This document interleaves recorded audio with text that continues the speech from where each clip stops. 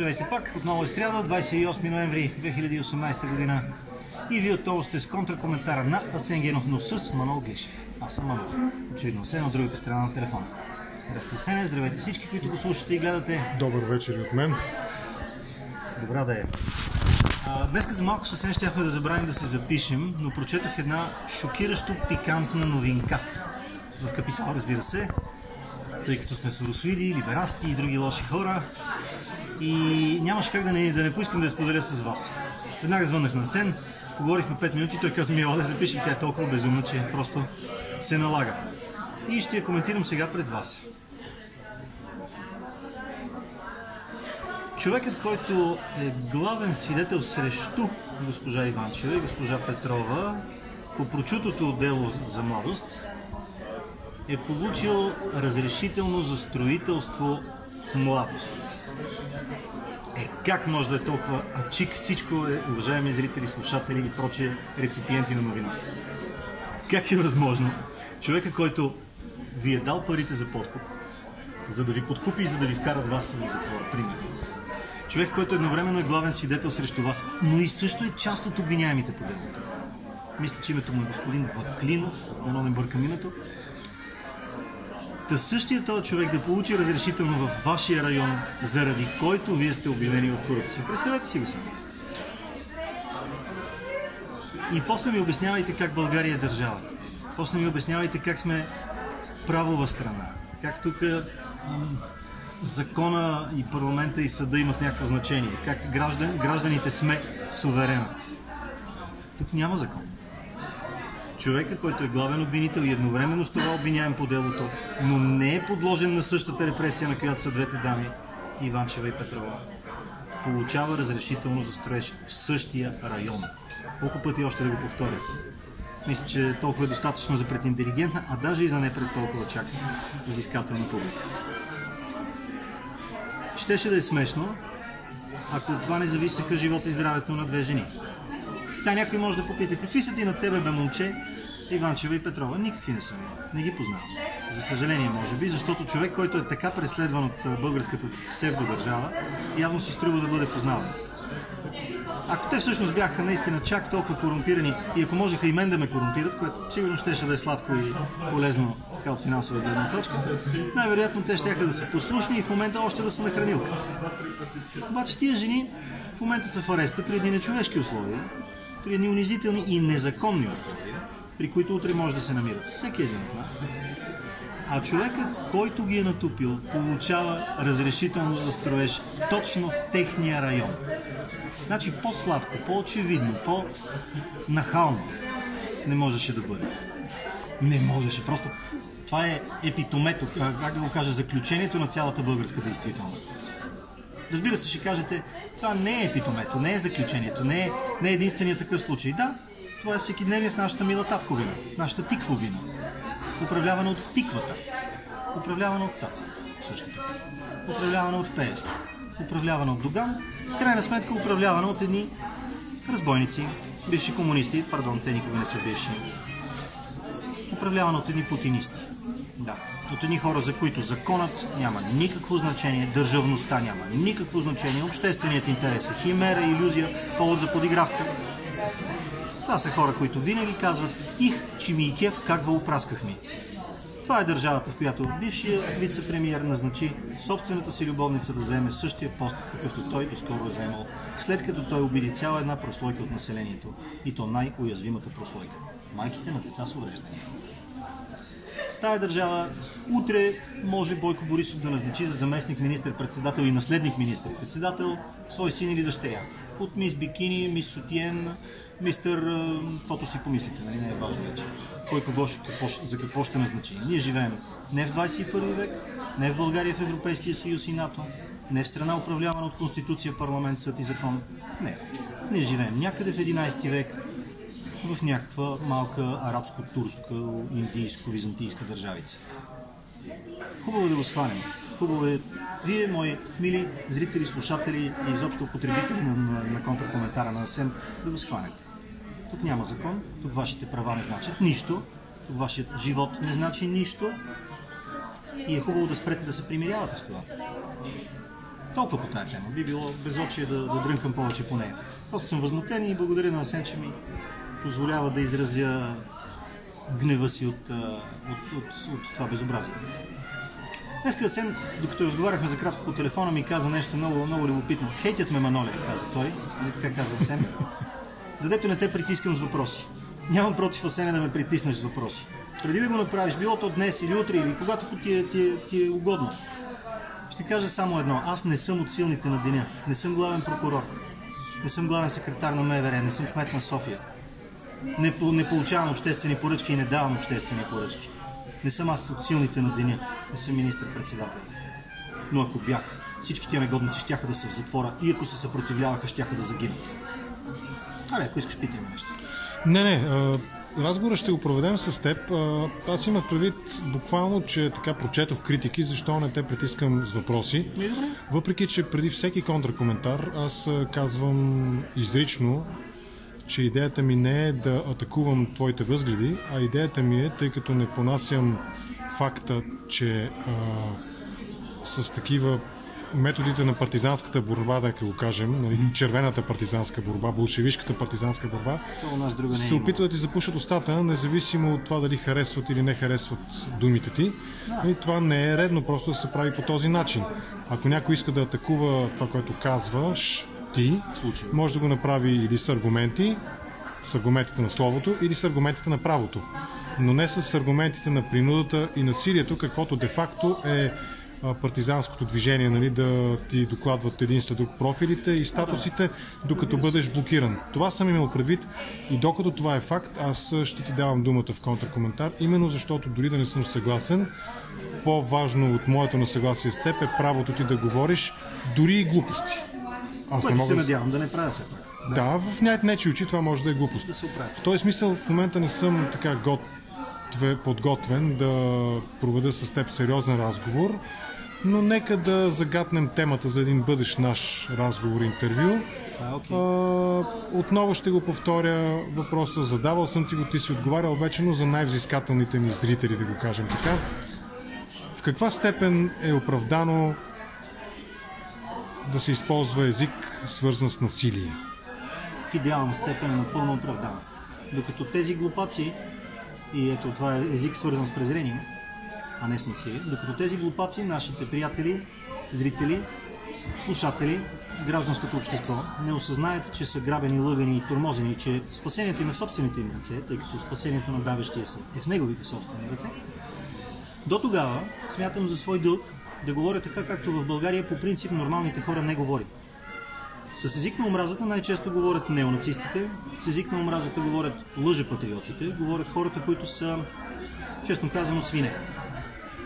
Но до толкова доколкото те го използват винаги срещу нас, винаги ни заплашват, сплашват, тормозят и така нататък. Аз между другото съм отвръщал на заплахи за насилие с контразаплахи и смятам това за форма на самозащита. До тогава смятам, че е възпитателно и полезно да се говори за насилие, срещу кръците, които унищожиха българската държава и от които ние трябва да я изтръгнем, за да я възстановим отново.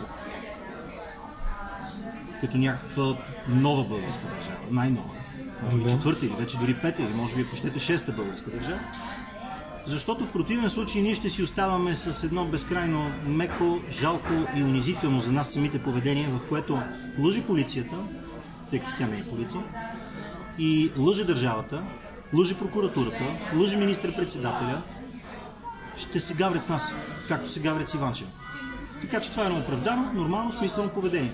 Ето снега започна, ремонтите не свършиха и ето аз примерно смятам, макар че някои хора ще кажат, ало, Манол пак говори гадост, смятам, че кметицата е угловно виновна за това. Сега, юристите ще кажат, не е угловно бе Маноле, друг е термин. Окей. Okay. Угловно на латински би било капитално. А, капитално виновна, а капитално означава с главата си виновна. От там нататък си въдете изводите за необходимото насилие, тъй като аз не съм привърженик на химза, на ненасилието. И така, Ами добре, айде тогава още малко да поразсъждаваме в тази посока. Давай. Например, ще дам а, за пример, тавтология малко, но Дай. така се получи, а, един любим мой актьор, Робърт Дениро.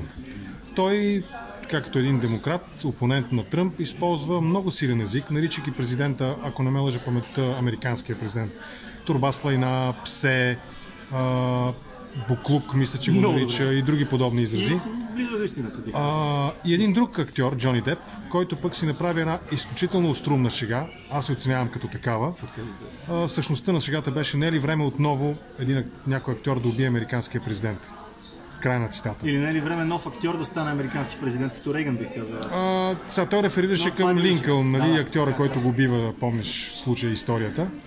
Ето ти два примера, които в единия случай е протектиран от Американската конституция, нали, там коя поправка, четвъртата мисля, че беше. А, през, нали, Не знам, ето, актьора, е за да, да. от всичките поправки, да не мога и аз да се седа в момента. Единият актьор, Дениро, критикува с изключително остри и обидни думи, но това е свобода на словото. Супер, да. В другия случай Джони Деп беше призован, както и Мадона, нали, да даде обяснение на Secret Service по отношение на това дали не заплашва буквално и се наложи той да а, направи втора част на своята шега, нали, в която обясни, че няма предвид буквално убийство на президента. Айде няколко думи в този, в този, в този, в този посока. Призивите за насилие. Аз не съм Джони Деп, тъй като той е великолепен актьор. Аз, както е известно, съм жалък имитатор на Неймар. Не, той също казва, между другото, Деп, аз не съм актьор, аз лъжа за да живея. не, аз не I lie for living, да ни казва той. А, той е чудесен актьор. И- Да, така е, да. Дениро също, макар че Дениро точно в актьорското си качество даже се снима с нашия тикводжен простак Борисов. Ако някой в България лъже за да живее, това са точно Борисов, Цацаров и подобните им идиоти. Изверги по-скоро, те не са идиоти. И лъжа с цената на нашия живот. Да, така смятам аз и, и, и заради това ще говоря както смятам, че е редно да се говори. Аз смятам, че тези хора не трябва да са на власт, тъкмо защото лъжат и крадат нашите пари, по този начин унищожават нашето бъдеще. За да бъдат свалени от власт, естествено най-добре е те да не се съпротивляват, за да стане всичко мирно, кротко и тихо и те да си отидат първо в съда и после според делата си в затвора. Тъй като знаем, че те няма да го направят, то тогава, ако те се съпротивляват, точно както някога хесенските войници са се съпротивлявали на Американската революция, точно както, впрочем, сръбската армия се е съпротивлявала на българското съединение, някои от тях пък може и да паднат жертва. Какво толкова? В крайна сметка това се случва в, в живота, в историята се случва. Да, България трябва да бъде възстановена като една нормална страна, като една европейска република, като една правова държава. И доколкото това няма да се случи, прогнозирам го. Дано да не съм прав в прогнозата си, но мисля, че ще съм прав. Доколкото това няма да се случи с кротки мирни средства, с петиции, с маршове, с митинги, с домати и цветя, до толкова, разбира се, е напълно оправдано и много възпитателно да се говори за необходимото насилие срещу тиранията. Тиранията се сваля с контранасилие. Това е разликата между белия и червения терор, че червения винаги е първи. Ето, червеният терор в България започнал минимум като най-ранна дата, да сложим 20-те години. И не е спрял до днес. Негови пост, Да, и пост, то, пост той е бил представители, точно, срещу белите, които са емигрирали в България. според мен, а и после и срещу българите. Не? Да. Този терор продължава и днес, само че днес той продължава да е в ръцете на властта. Той е червен терор по същество. Той е терор срещу нормалните, образованите, културните, бачкащите, създаващите БВП граждани, срещу невръзкарите. Докато, докато ние никога не сме отговорили никога с нищо. Боже мой, е- е- един възглас долу или едно доматченце или нещо такова се възприема като, като, като, като, страхотен, като страхотно насилие. Това са глупости. Оттам нататък да говоря за павета, мозъци, черва и така нататък, абсолютно приемливо, абсолютно правилно. Айде дяволите да го вземат да се свикне вече с тази мисъл. И това не се отнася само до мене и до моите евентуални критици или слушатели. Това се отнася до всички нас, Аз 7 милиона. съм давал за пример, защото съм го чел нали, в двата трактата за управлението, Джон Лок. Мисля, че там беше. Той говори за правото на бунт. Да, Дори въоръжен. resistendi се нарича. Правото на народа да възстане. Даже в византийската теория на управлението на държавата го има. Янис Караянополос има, има глава по въпроса. Да, в този смисъл, макар Даже и нали, е нелепо да се сравняваме ние с Лок или с нали, по-древните мислители от него, а, съм склонен да приема твоето разбиране, нали, че призивите за бунт срещу корумпирана, срещу интереса Не, бе, на народа власт. Да е протест. Нека първо да е хуманен, а, бих казал такъв един мълчалив, даже Да. скромен протест. Да. Стига той да е многолюден, стига той да е постоянен, да не е само днес и после пак след 3 месеца по някакъв друг А, до, до крайен резултат. Ако той е, ако наистина, дето вика моят приятел Чуканов, ако излязат 100 000 души, дето сигурно само и в София могат да се намерят, и постоят Намира, намирали се се, да.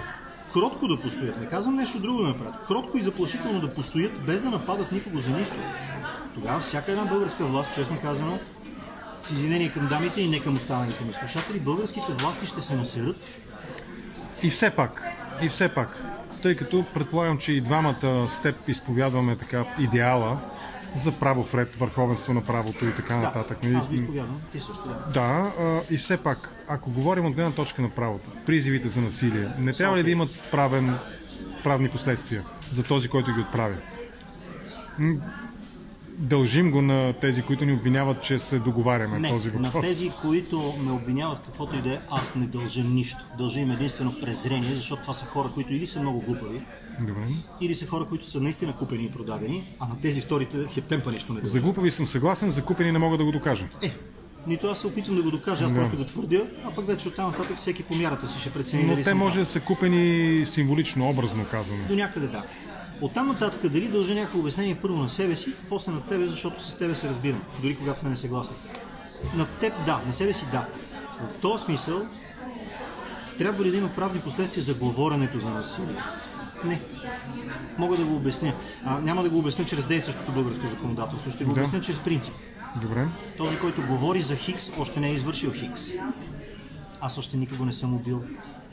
Ето ви един циничен възглед, но ето. Да, ако утре ме викне българската версия на Secret Service, аз мисля, че тя ме вика редовно. А, мога да им дам същото обяснение. Извинявай. Много ги повиши ти българската версия на ти Сигурност. прав. Да. Извинявай. Да, да. Понеже съм ги виждал реално как оперират, нали? Аз Повиши. не съм. Да, окей, повиши. Да, окей, ти си прав. Нашата псевдополиция, нашата милиция, да. дето не е днешната, дето не бие, ама е вчерашната, дето много биеше. И тя тъпо го прави. А, та нашата тъпа милиция, честно казано, Дансаджи и Масаджи и там всичките идиоти, че това са идиоти, наистина. Да. А, тя се съпротивлява срещу нацията. Нацията формално е суверена. Това сме ние, дето им плащаме заплатите. Ние сме върховния, ултра, мега, турбо работодател. Всичките ние, 7 милиона, глупаците, наивниците, тия дет сме тупани всеки ден като брашнян чувал. Защото дори и аз си плащам данъците. Плащам си ДДС-то върху чайчето, дори дет съм си взел. Ам, и, и с всичко това, ние дет сме крадени, нямаме право на едно, нямаме право на друго, най-накрая нямаме право на свободно слово. Стига, моля ви се. Имам право да говоря не само за презрение и омраза. Имам право да говоря точно за правото ни да възстанем, да се разбунтуваме. Ама вече не символично. Аз не го имам предвид символично. Да, ако може да се случи чрез символични, чрез мирни, чрез кротки действия, наистина 100 000 души да излязат и да помълчат няколко дена. Боже мой, няма българска власт, която да им устои. И тогава всичко може да се подреди постепенно и да се превърнем постепенно, чрез серия нормални, мирни, кротки, да, протести Да. правова държава. Но тъй като това не се случва, ето е вече следващата логическа стъпка. Аз съм го давал за пример, ще те прекъсна. Слушай, аз- давал съм го за пример познатото в, може би, социалната психология се нарича, паралелно, симетрично нарастване на напрежението. Ето, например, протестиращите 14-та година в, в Украина и Майдана, те бяха доста твърди. Хвърляха павета, палеха гуми, принудени. хвърляха, хвърляха коктейли нали, запалителни срещу полицията. Те не започнаха Обаче, така, виж, тях виж да, да, да, да точно, точно това иска да кажа, че а, Доста стрелбата започна, мисля, че на доста по-късен етап. Тези небесна сотня, нали, стоте души, които избиха снайперистите. Виж колко 106 интересно. Значи, примерно, твоите критици, да, 100, те го казват, нали, небесната стотица. Виж колко интересна така пара- парадокс се получава. Твоите критици казват, ти говориш много остро, много рязко. А някои Аз- действат остро, докато аз- аз само говоря. обаче виж колко по-остро действа, виж колко по-остро действа властта.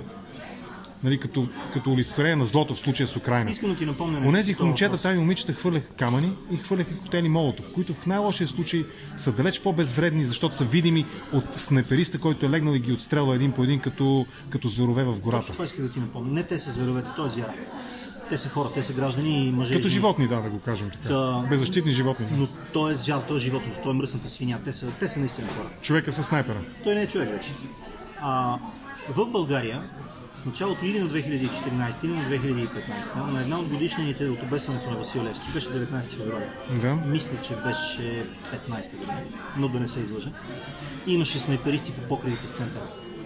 Тези изроди се бяха подготвили да стрелят по нас. А в случай, че направим нещо. Да. И Не не само лъжа. тогава, и друг път го си имало, да. Айде сега да си помислим, кой говори твърде остро. Тези хора ни заплашиха с оръжие. Директно, да. Аз си спомням, когато през началото на 97 година, при свалянето на Виденов, който беше абсолютен престъпник, Също имаше като реална възможност, да. Не само възможност, спомням си, когато баща ми си прибра с окървавена глава от дома. Баща ми е интелигентен човек. Не е човек на насилието.